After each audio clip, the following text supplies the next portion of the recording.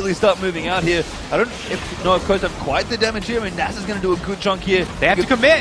I mean, they do. They're going to try something. Nidus over the top, going to look in for the team fight. We'll start things off. It looks like they want Yes! But oh, Olaf does get in there. That's great news. And now Coast kind of in ruins. Yuzuki maybe looking to go down. With Fusion, though, trying to get everybody forced to flash over the wall. 3-2 trade there.